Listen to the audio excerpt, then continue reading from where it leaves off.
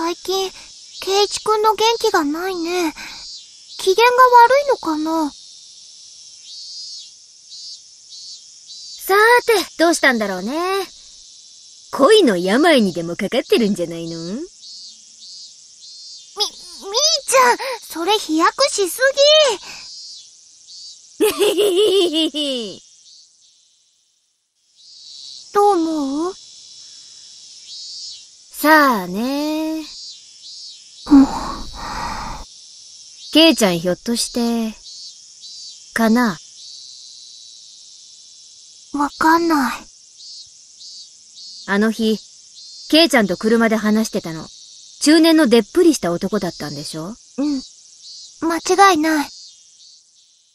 大石のやつ、ケイちゃんに何を吹き込んでるのかな？真剣そうだったよ。ケイチ君は顔面蒼白だった。あのね、レナはよく知らないだろうけど、実はあいつ、お社様の使いなんだよ。え？何の話？あいつが現れるとね、必ず鬼隠しが起こるの。本当だよ。あれ？そうなの？